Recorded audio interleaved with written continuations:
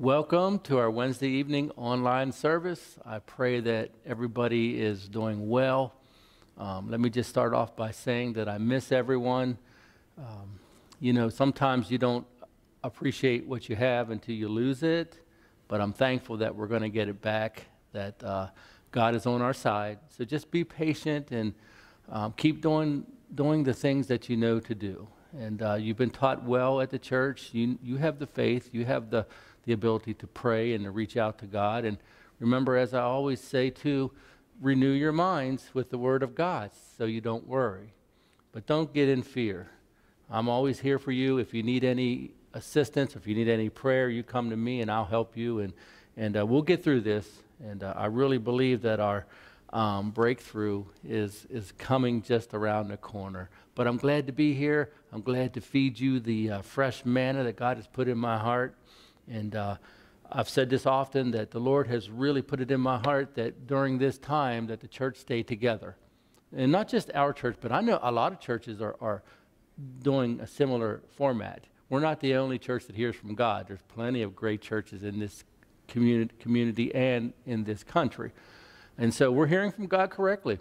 But the local church, our love and our unity and our faith and our desire to be a, a bright light for God in this community, in the way we take care of each other, the way we lift each other up, it's, it's, it's very, very important. We can't grow spiritually without those things in place. So thank you for being a part of the church. Thank you for not uh, um, getting sidetracked as far as that goes. I wanted to just continue to remind you that the church is open weekdays from 7 to 5, and you can come in and um, uh, return your offerings if you'd like to, or pray. And then Saturday and Sunday, the church is open from 9 to 5 for, for the same reasons. Um, other ways to give, you can give by mail. You can mail it in to 4042 Sycamore Grove Road, Chambersburg, PA, or by our PayPal account, which is Freedom in Christ Church at yahoo.com. And uh, once again, it has it is, uh, touched my heart. The people of the church are generous, they are giving, uh, and you, it, it, does me a lot of good because I'm not taking the pressure of this church on me. This, this church belongs to God. And Jesus said, My sheep will know my voice. And so you have heard his voice. You have taken care of this house, and, and uh, you've blessed us. So thank you. We are fully supplied. We don't lack in anything. And so um, thank you for that. I do want to uh, encourage you with some scriptures when it comes to giving.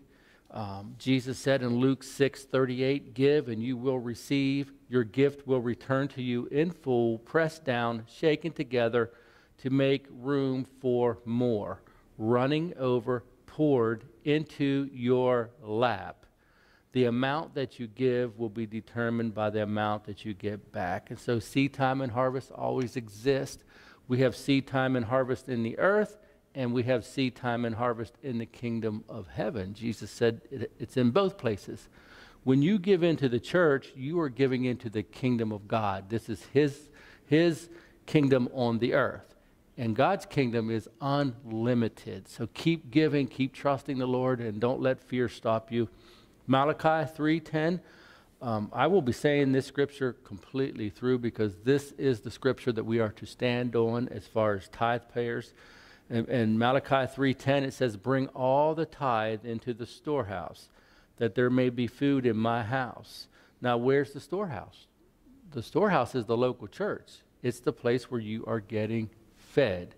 And so bring the tithes into the storehouse and try me now in this.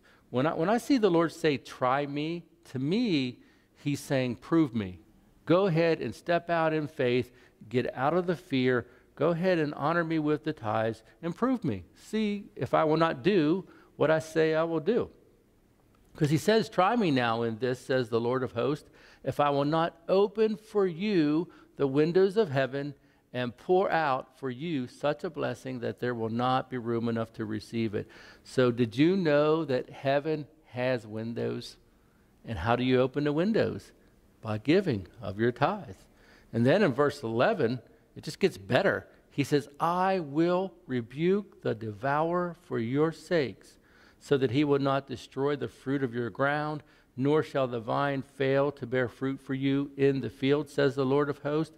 and all the nations will call you blessed, for you shall be a delightsome land, says the Lord of hosts. And so I want to encourage you with that. Um, one, one other scripture the Lord gave me is Galatians 6 9. It says, Let us not become weary in doing good, for at the proper time we will reap a harvest if we do not give up. Don't get weary. Keep doing what the Word of God says.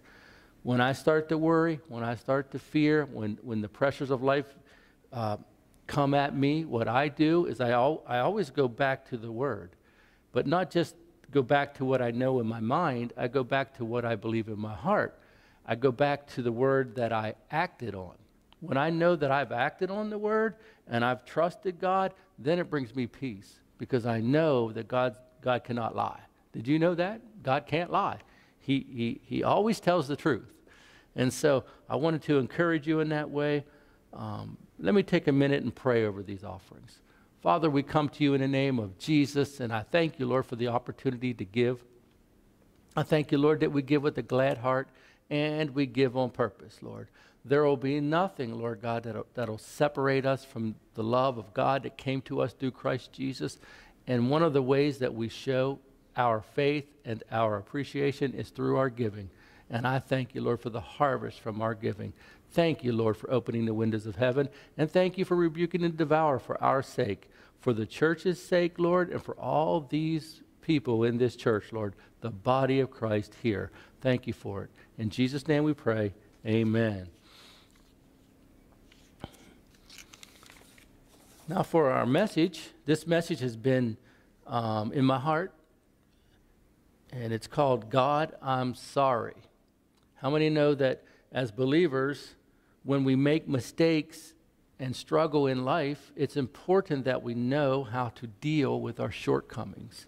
We need to know how to say, God, I'm sorry. When I was a, um, a young kid, I, I got saved pretty early, and uh, my parents weren't saved. And so I hadn't gotten any teaching. I'm thankful that they did get saved later and, and taught me very, very well.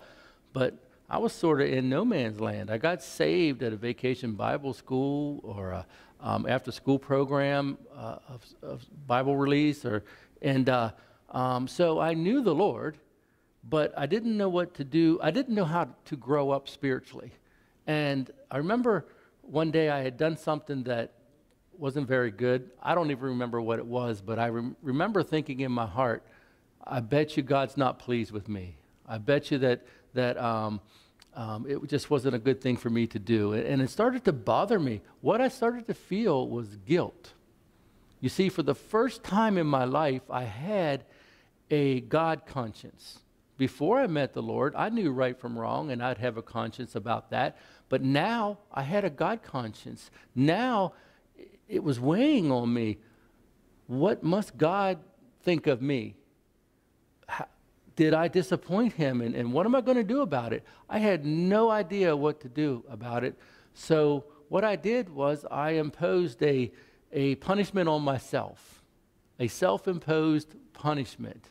And um, it, in two different ways. The first thing I did is I wouldn't allow myself to listen to the uh, Baltimore Orioles on the radio. Back then, I had a little portable radio. I carried it with me everywhere. This is back in the late 70s mid to late 70s. And I used to love to listen to the Orioles, and um, they were my team. WCHA, Chuck Thompson would be the broadcaster, uh, Paul Blair, Brooks Robinson, Mark Belanger, Jim Palmer, they, they, they were my guys. And uh, I would listen to that, uh, that, those games, and, and uh, this, of course, was before ESPN and all those sports channels that we have today. And uh, I really love to do it, but I wouldn't allow myself that evening to listen to the game. I wanted to punish myself. And then the other punishment that I had was I had a brand new bicycle that my parents bought me. It was a fast bike. I loved to, to um, ride it. I didn't allow myself to ride my bike that evening. I would, uh, what I did was walk it around in circles. Just, just, I don't know how long I did it, but I just walked it around in circles. You see, I was paying the price for my sin because I had no other way of, of dealing with that guilt. And I, and I felt that I needed to um, uh, make amends to God. And so, boy, am I glad I'm past that. But you know what rings true in my heart and what motivates me in my heart as a pastor? There are hundreds and hundreds of thousands of Christians out there. They are still where I was as a child because they never grew up spiritually. They never heard the truth of God's love. They don't know what to do when they miss it. They don't know how to say, God, I'm sorry. But today, you are going to learn how to say, God, I'm sorry. And, uh, and let me just say this I hope I don't burst anybody's faith bubble, but it's not a matter of if you make a mistake, it's a matter of when because we're all human. And so, um, but we're going to learn uh, exactly what to do. We're going to build a case in the Word of God for how to say, God, I'm sorry. I'm going to use a lot of scriptures, and we're just going to go line upon line, precept upon precept, and I want this to get into you. So just relax, settle in, and just sort of block out a little bit of time here and let the Word of God minister to you. Let your pastor minister into your heart. And uh, this, is, this is how I, I, get my spiritual food. This is how I get my satisfaction by teaching you and, and letting you know what I know and what God has put in my heart. That's why I said we need the fresh manna. And we need, we need to keep growing spiritually. If you don't understand this concept that I'm going to give you, you will not grow spiritually. You will, you will be stuck. I didn't say you wouldn't be a child of God, but how many know that we need to grow up spiritually? We need to learn and, and learn about our Father, learn, learn the ways of, of the Word of God, and, and then follow those ways. And so, as believers, when we struggle, we must understand that our shortcomings do not change our relationship with God or our position in Christ. We are still His children, and we are still in Christ, under the blood of Jesus Christ. If you don't understand that, you're going to you're gonna have a miserable life. A miserable a life, and that wouldn't be fair because God wants you to have life and have it more abundantly. But just because you make a mistake, just because you fail, just because you get angry, just because you do something that you know you shouldn't do, it doesn't change the fact that if you put your faith in Jesus Christ, you are a child of the living God. You belong to God. You're in the family already, and your life is hid in Christ. He paid for you. You are the body of Christ. And so get this down into your spirit right now. When you make mistakes and when you struggle and when you do all kinds of things that you wish you wouldn't do, understand that you don't lose your position in Christ and you don't lose your place in the family of God. There's been many times in my life that my dad and I, when I was younger, you know, the teenage years when you think you know it all, and uh, um, my dad and I butted heads and, and um, we didn't get along. But at no time did he ever say, You're not my son anymore. At no time did I ever say, You're not my dad anymore, because we knew that we loved each other.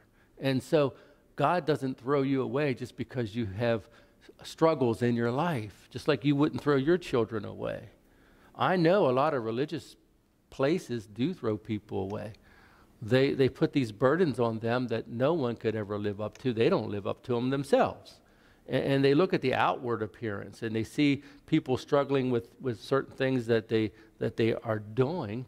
But Jesus said the biggest issues, the, the biggest um, sinful things are the things that come out of the heart, the things that come out of the mouth or, or come out from, from within the person, like strife and discord and quarreling and and being judgmental and, and not showing love, they are, are far more worse than what somebody could possibly get into in the other areas.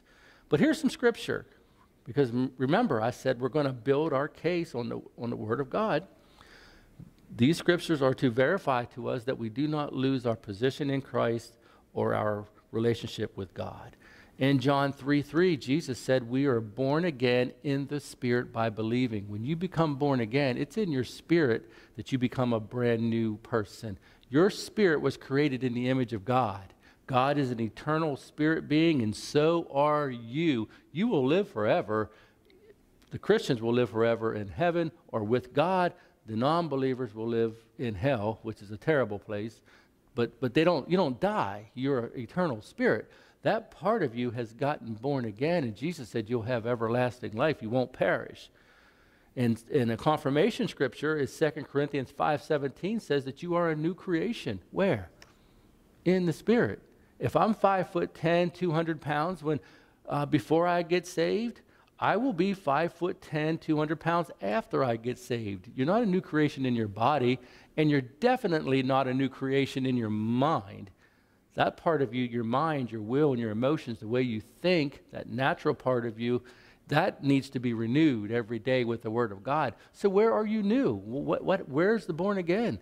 In your spirit. You're born again spirit. You're a new creation. You see, God seals you with the Holy Spirit. He's not turning his back on you. You are a child of God. And that's important that you know that because you got to have confidence like that because if you don't have that kind of confidence, you're going to you're going to get discouraged. How many know that Satan is the master discourager? Uh, he, he's the one that tempts you to do wrong, and then when you do wrong, he's the one that points the finger at you. Don't get in those games. 1 Corinthians 1:17 says that that you are the one who is united and joined to the Lord is one spirit with the Lord. You are one spirit with the Lord. That doesn't change. And Romans 8 17 says, We are children of God and joint heirs with Jesus Christ. We are right now children of God. Right now, joint heirs with Jesus Christ. Now, let's grow up spiritually. Let's lay aside those things that have hurt us and those things that weigh us down, and, and, and let's move into the spiritual things of God and, and just, just glorify God with our lives. Let's give Him all the glory because He deserves it.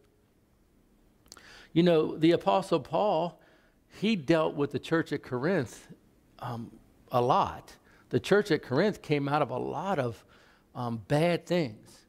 And it took them a while to finally get the, the, the whole picture of how they're to be. But Paul was patient with them.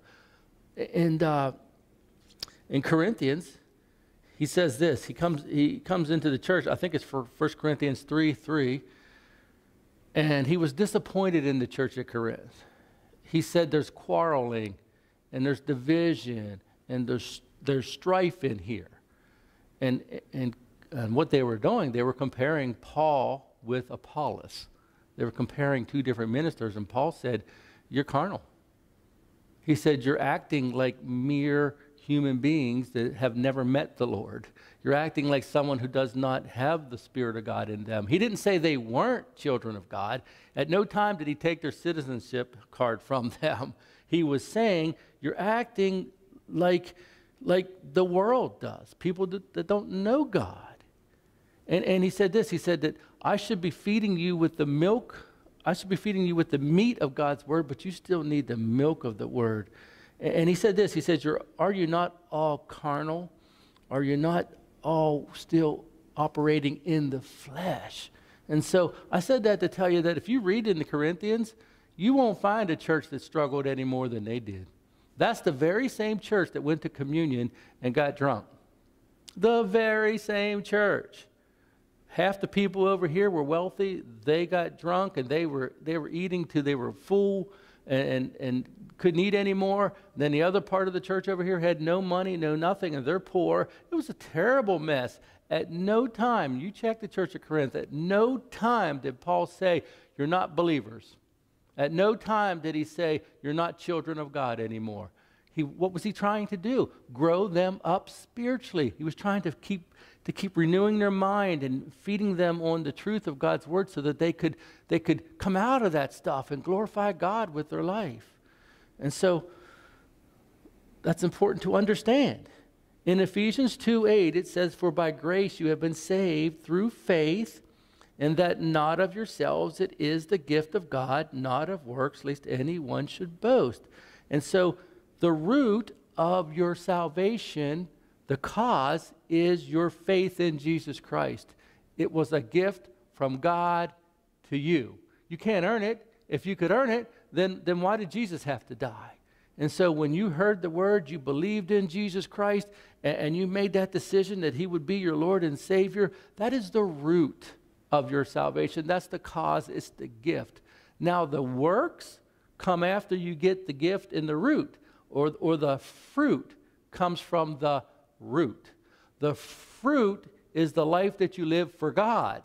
What are you going to do with the Spirit of God in you now? What are you going to do with this born again spirit? What are you going to do with this word of God, this word of wisdom? What are you going to do with all these this awesome field of grace set before you? What are you going to do with that? That's the fruit. That's that's how we glorify God. And you could never do any of these things that without the power of God anyway. You couldn't you can't live for God without the power of God. But with the power of God, you can do anything. And so Hebrews 4 14 through 16 tells us exactly what we are to do when we miss it. It tells us exactly our, the, the attitude that we're to have, it tells us our heart condition. It says this in Hebrews 4 14.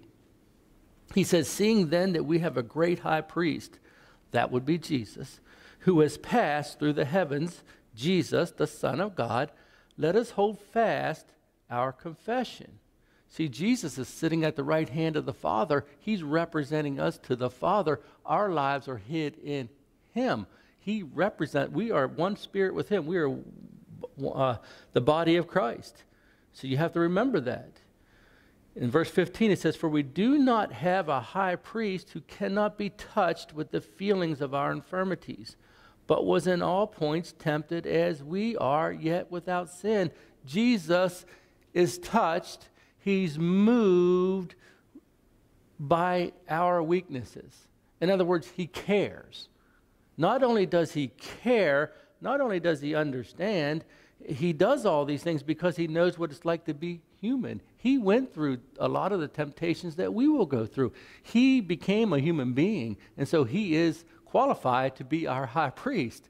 And, and the Bible tells us right here, it tells us that, that because Jesus cares, we are to come to the throne of grace.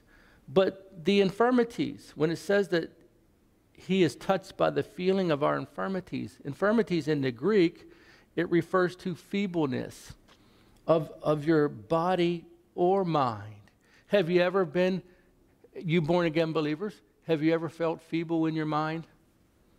Have you ever felt feeble in your body? Have you ever thought, oh, geez, I just lost my temper today and I thought I was past all that?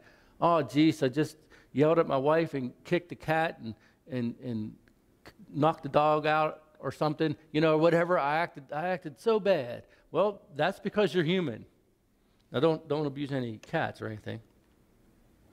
But the infirmities refer, refers to feebleness of body or mind. Listen to this moral frailty frailty in our morality, disease, sickness, weakness, or failures. All of those categories, Jesus is touched by our weakness.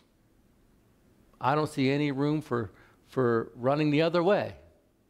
Not as long as we have Jesus on our side. Think about it. If Jesus died for you, do you think he's going to give up on you just because you've made mistakes and you've failed. And you know, one of the greatest people in the New Testament is the Apostle Paul.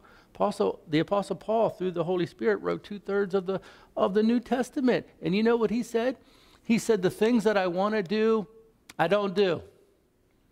And the things that I, that, uh, I don't want to do, I do. He, he, he's, he's comparing himself that I have the Spirit of God in me. I have this will to do right, but I don't always get there. And sometimes I do things that I know I shouldn't do. Paul had that problem. But Paul, he, he said, What can save me from this death trap that I'm in?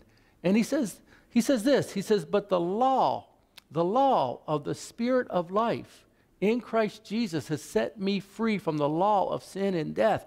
See, you're not under the law of sin and death. You're not separated from God by your sins anymore. Jesus paid the price. You're children of God. So Paul said there is a new there's a new law at work here, and it's the law of the spirit of life. The spirit of God has made me alive to the Father. That law keeps me going. That law keeps me coming to, to God's throne. And say, you have to understand that. In verse 16 of Hebrews 4, having said all that, he says, Let us therefore come boldly to the throne of grace. that we may obtain mercy and find grace to help in the time of need. See, the throne of grace is a place of acceptance. It's a place of acceptance. If it was, if it, if you had to deserve to go to the throne of grace, it wouldn't be a throne of grace anymore. It would be a throne of works or a throne of me deserving something. It is a throne of grace. You didn't deserve it. I don't deserve it. We didn't even deserve to be saved, but God loved us anyway, and He sent Jesus. So, so we're going to go with Him, right? So we're thankful for that. But He said, Come boldly. You know what that means to come boldly? It means to come confidently. Come with confidence that you know that your Father loves you. Come confident when you pray and you go to the Father, when you struggle in life, that you know that Jesus is representing you to the Father. Come with the confidence that you know that Jesus cares. He's touched with your feelings of your infirmities. I know that some of you might have ran across a religious person who was critical and looked, looked down on you and, and, and shook their head every time you did something wrong. But God isn't like that. I want to, I'll give you some advice. The Lord put this in my spirit one day when I was preaching. Stay out of the head shaking circles. You know what a head shaking circle is? You got a group of people, they're in a circle, and everybody is talking about someone, something that they did, some bad thing about them, or and and everybody's talking about this person, and everybody's shaking their head like, mm mm mm. Stay out of the head shaking circles.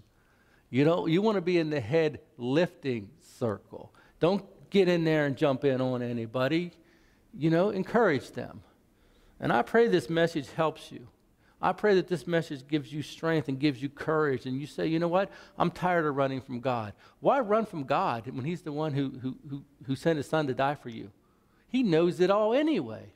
All he's waiting for you to do is exactly, all you need to do is do exactly what the word says. Just do what the word says. And it says, come boldly or with confidence to the throne of grace.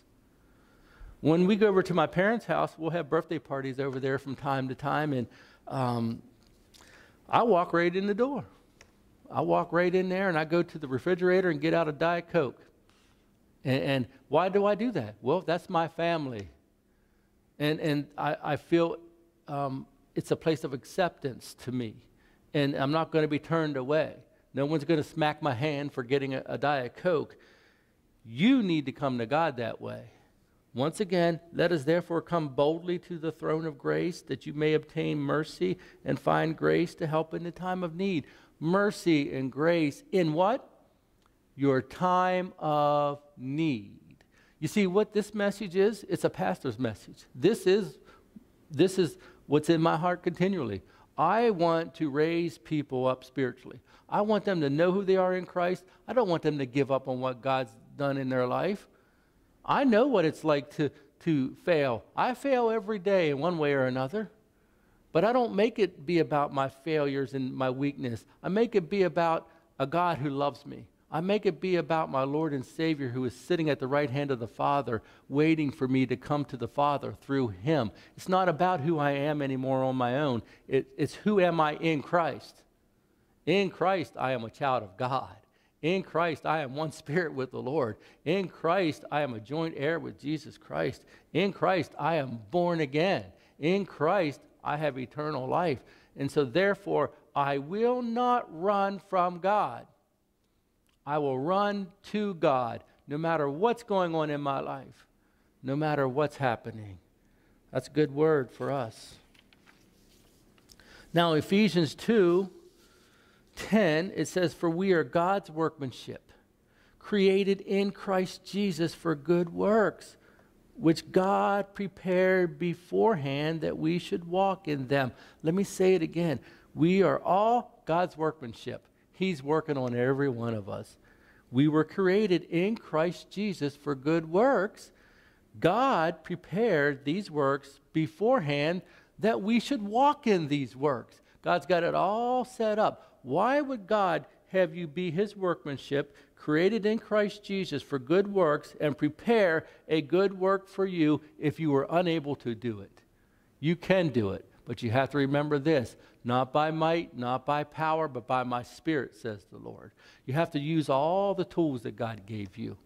There's a lot of Christians, they have good, good, solid hearts. They love God, but they're too hard on themselves. They, they, they just feel um, just bad because they're not able to reach a certain level that they think they should be at. What, what happens when, what are you supposed to do when you feel like that? Well, go ahead and get it all worked out at the throne of grace, right? Go ahead and pray to, pray to God. You're His workmanship. He's not giving up on you, but they struggle. I, I want to tell you something. There is a difference between condemnation and conviction. Condemnation is when someone is outside of God, outside of the family of God, and they are lost in sin. And if they don't get it right, they will be condemned with the world. And, and they're separated from God.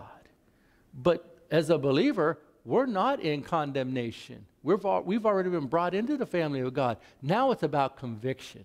Now it's about keeping your heart soft and keeping it tender and keeping it ready to hear from the Lord and, and, and want, wanting to live a pleasing life to God. It's about getting better every day at what we do, but it's not, take, it's not taking on condemnation. Nothing's going to separate you from the love of God in Christ Jesus. Now, the name of our church is Freedom in Christ Church. God gave that name to my mother back in 1978.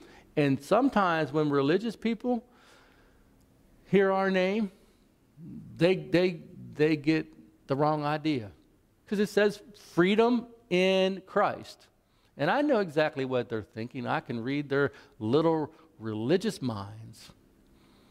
And, and a lot of times they're, they're thinking that we're saying we are free to sin. No, get out of here with that. I don't want to sin. I don't want to do the things of the world. What that name means, we are free from sin and free to get into God's presence. Freedom in Christ means we are free from sin, not that we go out there and do live however we want to, to live.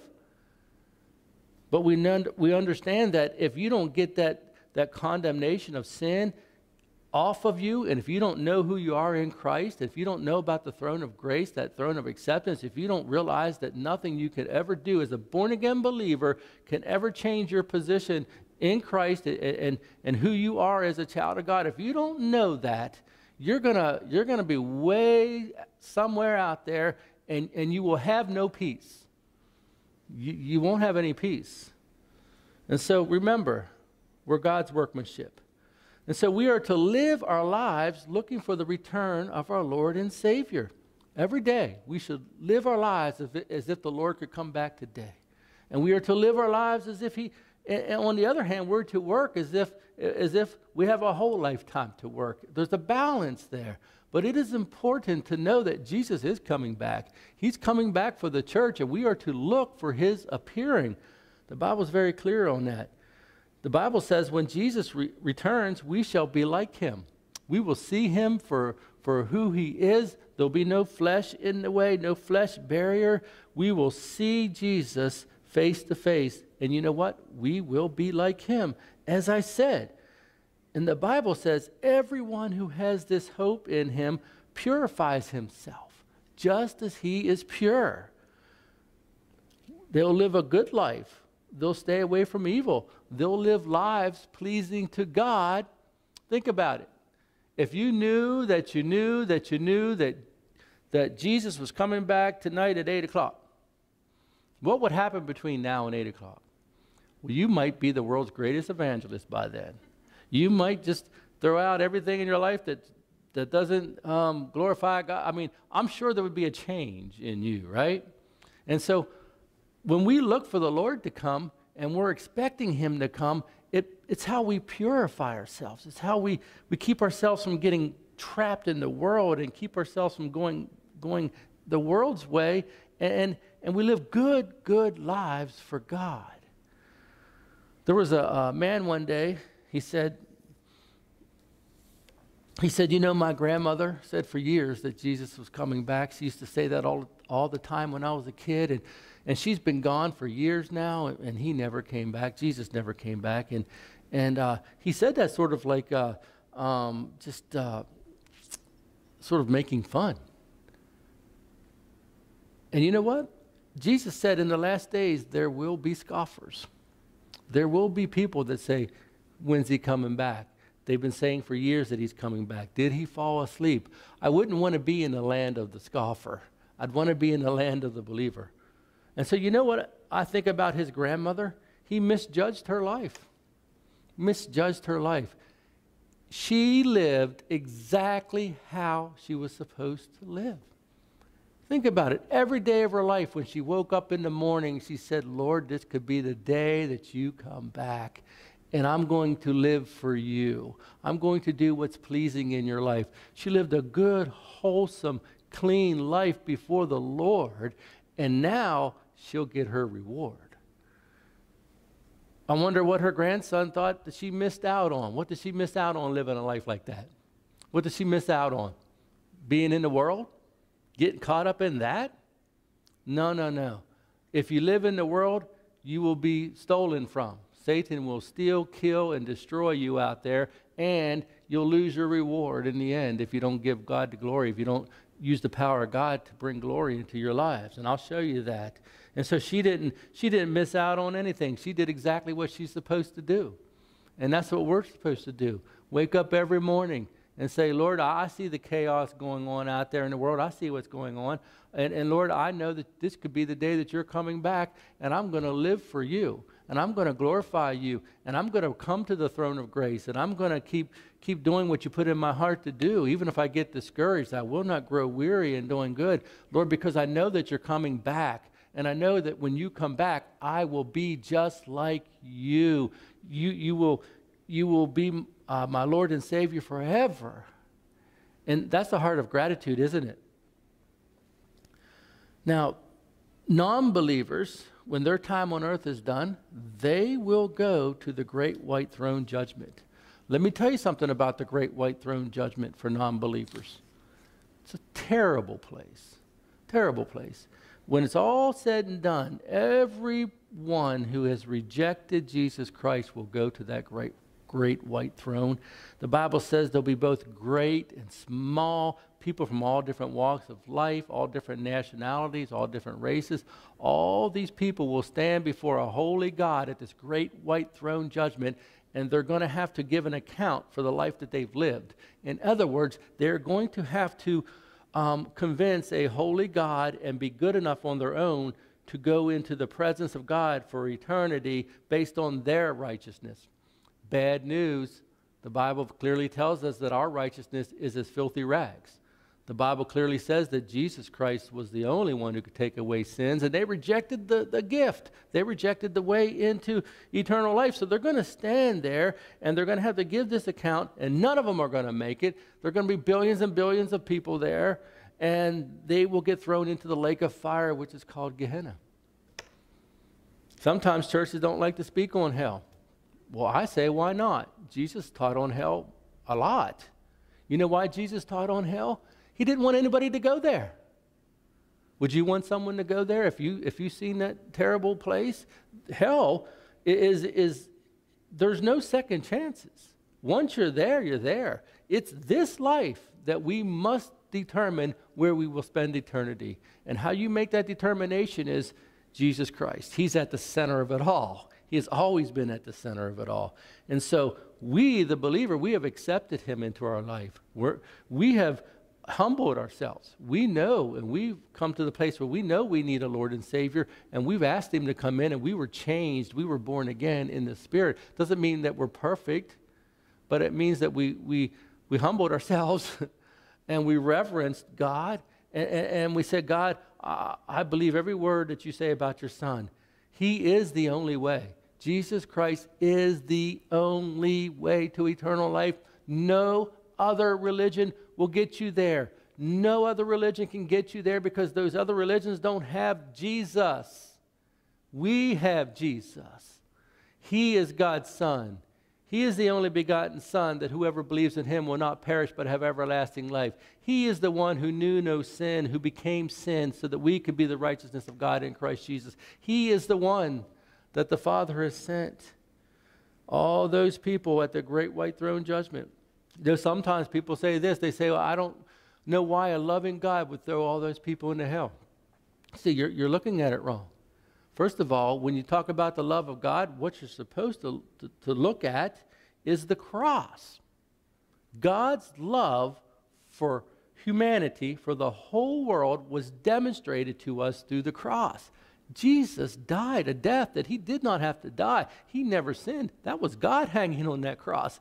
God the Son, God Jesus, died for you so that you would not have to go to hell. That's love. We have to get out of this shallowness and we have to understand why do you think you see crosses all over the place? God wants you to see the cross because it's, it's a symbol of his love and his mercy for you. Why do you think the governments all over the world are taking crosses down and getting rid of crosses? Because there's power at the cross. So, the loving God that you're talking about, he has already done something. Anything that God has done for us in the New Testament is called grace. God did something for us that we did not deserve on our own. That's grace. How we respond to that grace is called faith. How are you going to respond to it? You're hearing me right now. Some of you are hearing me right now. How are you going to respond to it? If I asked you if you would die today, why would God let you into heaven? What would your answer be? Would your answer be, well, I tried to never hurt anybody. Would your answer be that I went to church for my whole life and did the best I could do? Would your answer be as to why God will let you into heaven? Well, my parents, when I was younger, they, they, they christened me. Uh, all those answers are not good. All those answers are what the people at the great white throne judgment will have. Here's your answer and you have a chance today. Here's your answer. Why would God let you into heaven? Here's your answer.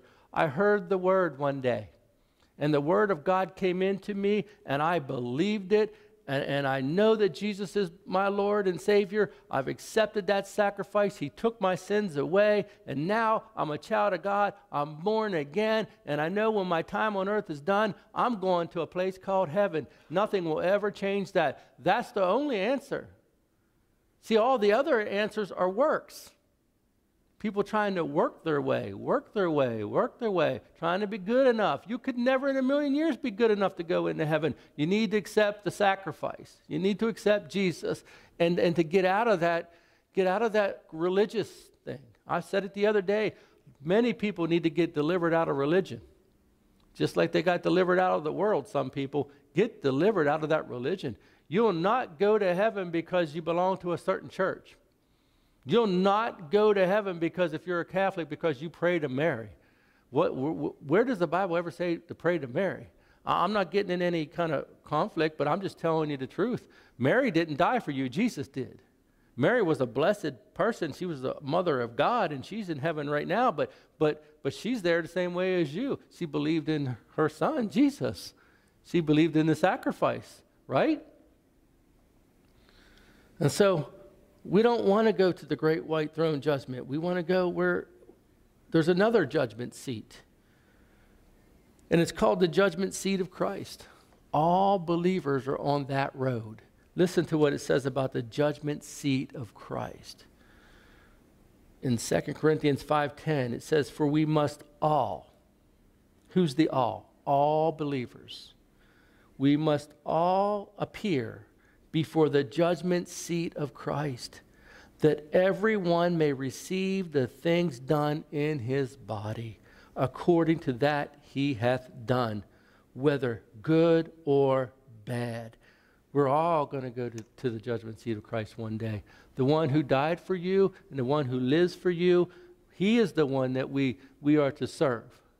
You're not going to stand before me one day. I'll be right there with you. I'll be right there with you.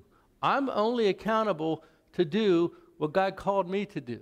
And that's what I'm doing. I'm called to be the pastor of this church, and I'm doing it to the best of my ability, expecting the Holy Spirit to always make up the difference. And, and I, don't, I don't always get it right, and I, I'm just like anyone else, but I don't run from God. I go right to the throne of grace, and I live my life as if the Lord could come back tomorrow. And that's how I keep myself pure and, and living right before the Lord. I don't allow myself to get caught up into that stuff in the world because that stuff in the world will take you places you don't want to be. And so it's the judgment seat of Christ that we will end up at. Then the Bible says that our works will be tried by fire on the day of judgment. Listen to this. It's 1 Corinthians 3:13 amplified. Each one's work will be clearly shown for what it is. For the day of judgment will disclose it, because it has to be revealed with fire. And the fire will test the quality and character and worth of each person's work. If any person's work, which he has built on this foundation, that is any outcome of his effort, if it remains and survives the test, he will receive a reward. But if any person's work is burned up by that test, he will suffer the loss of his reward. Yet he himself will be saved, but only as one who has barely escaped through the fire. That says a lot to me. Jesus is the foundation that we build our life on. What is the foundation of Jesus? We have the gift of salvation from God by believing in Jesus Christ. In Him we live and move and have our being. And out of that foundation comes the fruit or the works. And now our motives for doing what we do and why we do will be tested by fire. There are some people, they have really good ministries. They do a lot for the Lord. But you know what?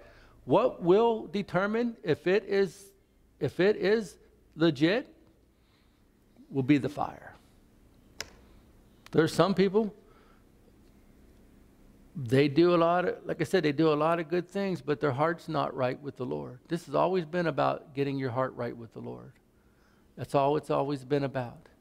One day I was uh, I went to hear a preacher and man he, he was hard man, he was just hard on the believers. And he just, just, I didn't feel good listening to him.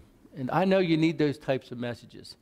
Don't, and, and this, this message should make this clear to you. We need to, to be in a, in a repentant state to come back to God and, and, to, and to give him our heart because um, not, it's not what God will do to us, but it's what the world will do.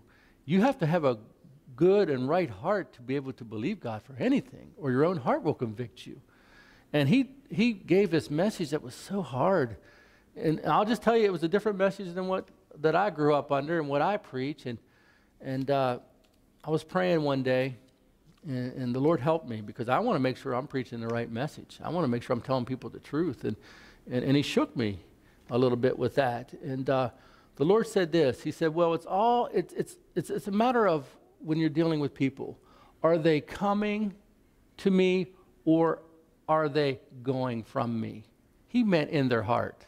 In their heart, are they pushing towards me? Are they striving to, to get to know me? Are they, are they staying humble and coming my way? Or are they rebelling and running away? And, and, and um, it doesn't, doesn't have anything to do with God's love, but it has to do with what kind of heart condition are they in.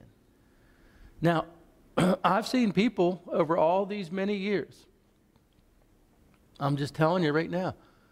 I just like to keep a balance. I've seen people who, who they did not look like much, they did not smell like much, they did not. I mean, they. Um, by that I mean you could smell all kinds of things on them that they shouldn't have been doing, and, and they looked like um, not much, but their heart was gold. Why was it gold? They were coming to God. They weren't running from God. They were spending time in God's presence saying, God, I want to get to know you. God, I want to serve you. God, I want to please you. And God honored their heart. It's their heart. It's not the way they look on the outside. It's not even really what they do or they don't do. We all want to glorify God, but, but you can't look at the outside like that because on the flip side of that coin, I've seen people that go to church for years. I've seen people that know the Word of God like the back of their hand, and they've gotten rid of all the stuff in life that used to keep them down. And, they, and, and I mean, they don't do any of those things anymore. They don't drink, they don't smoke, they don't do no drugs. They don't go out and do any kind of wild living. I mean, they're, they're straight. But I've seen people like that, that their heart was messed up. they're the ones that a lot of times start the quarrels and the divisions and the arguments. They're the ones sometimes that look down and, and break the spirit of unity. You know what the Bible says? You know how to keep a good heart in your church? The Bible says we are to edify each other in love, lift people up. Don't look for a position, don't look for a title, don't even look for acceptance. Just live for God. Live as if He's coming back today. When I first started preaching, I had a lot to overcome, tremendous amount. I, I admit, my biggest attribute is my heart. I don't have the whole, a whole lot of talent, a lot, a lot of gifts the other ways, but I do have a good heart and I do have the call of God on my life, and I've guarded that. And God's been with me every step of the way. And one day I was preaching um, when I first got here, and um, I was looking out over the congregation, and uh, it's amazing when, when I'm preaching sometimes, it's like everything's in slow motion. So I try not to lock on people's eyes or anything, but I just like, just, it's just different under that anointing. And uh, so while I'm preaching, I'm having this conversation with the Lord. And I said, Lord, I don't think that half of the people in here are listening to me. I see some heads nodding over there. I see some people on their cell phones over there. Uh, I see some, right at the most important por- point of the whole message, someone gets up and goes to the bathroom. Try that once. And then everybody in the, in the congregation, they're like, they follow that person. and you're just trying to lay the mega point out. And it's like, oh. And if you're not careful, you can take that burden on yourself. And, and I said, Lord, I think about half of the people are listening to me. I'm saying this to him while I'm preaching. And he said, That's okay. Preach to the half that are listening. And that really helped me. Because you know what? Jesus said, My sheep will know my voice, they'll know his voice. And, and so you, you can't worry about pleasing people or living for people or, or don't worry about any kind of discouragement. Live for Jesus Christ.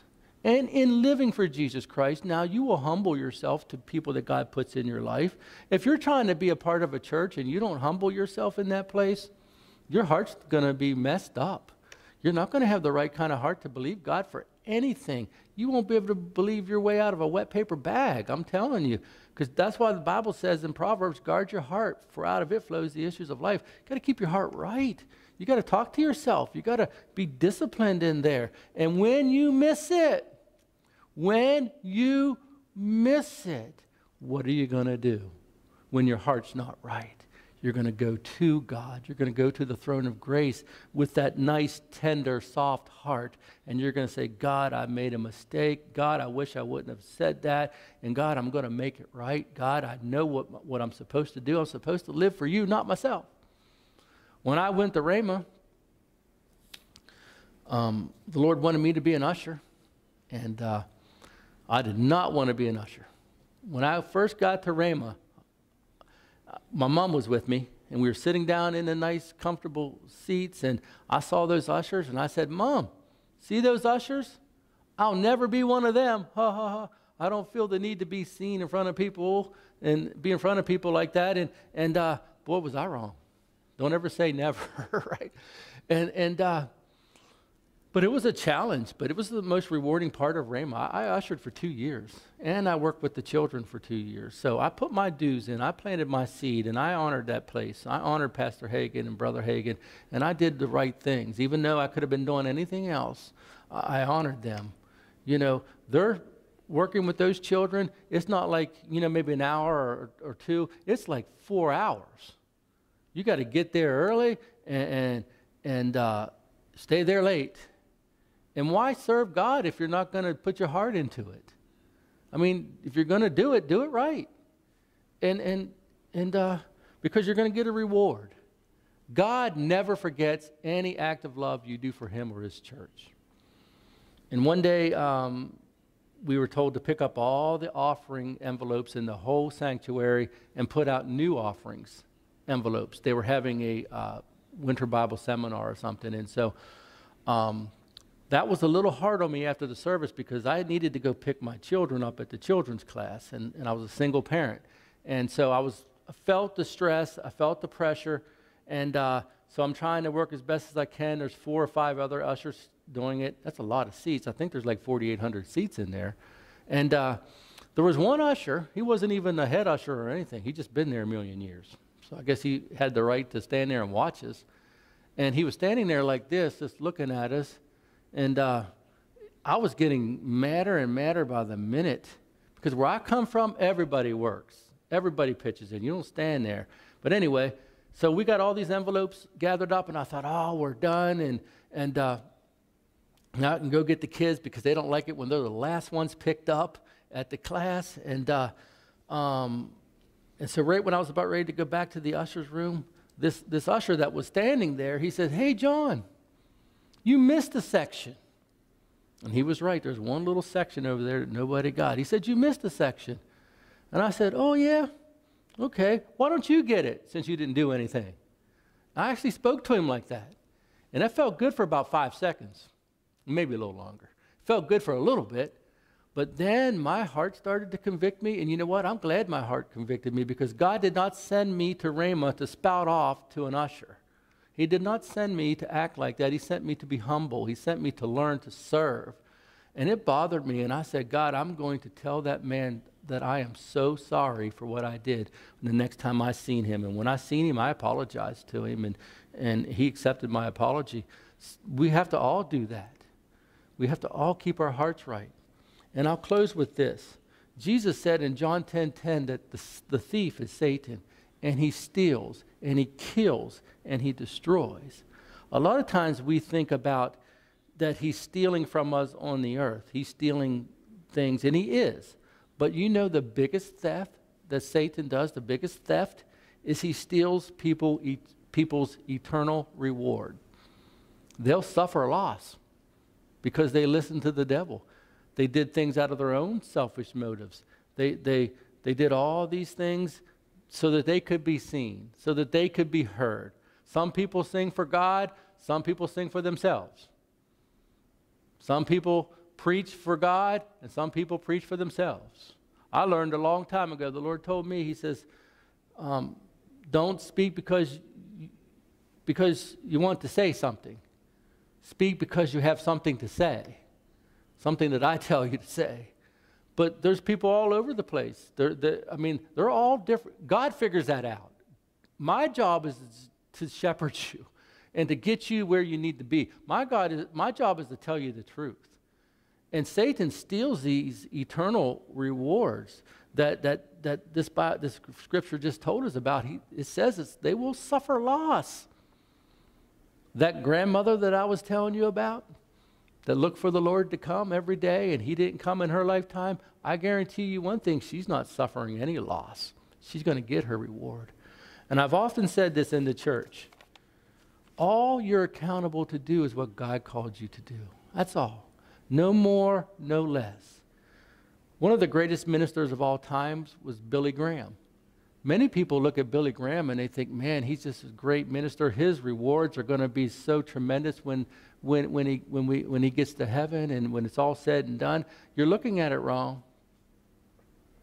Billy Graham will get no more reward than, say, a Sunday school teacher who taught faithfully for 30 years and did it because she loved God and loved the church and loved the people. She did what she was called to do, what she was supposed to do.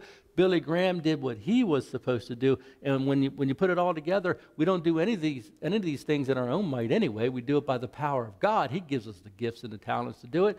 And so Billy Graham did what he was supposed to do. This Sunday school teacher did what she was supposed to do, and they'll get the same reward. The world looks at things a little bit different. Jesus said the way up in the kingdom of God is down by serving and giving and humbling. You know when he gave that lesson? When he was washing their feet. You want to be great in the kingdom of God? Serve. Don't worry about anything but serving and loving and respecting and, and, and, and showing honor. Then your heart will be pliable, it'll be soft, and, and God will be able to move you and shape you and, and mold you and get you to where you need to be. And then you'll speak to the storms and you'll speak to the mountains, and the mountain will move. Well, God bless you. I pray that that has helped you. And, and uh, um, keep me in your prayers, and, and, and I'll keep you in my prayers. God bless you.